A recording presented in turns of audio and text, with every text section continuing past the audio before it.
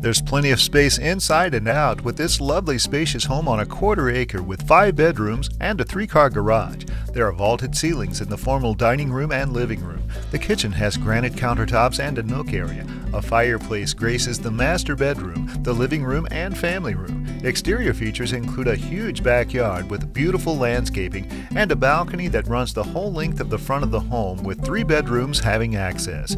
Call today and make this roomy home yours.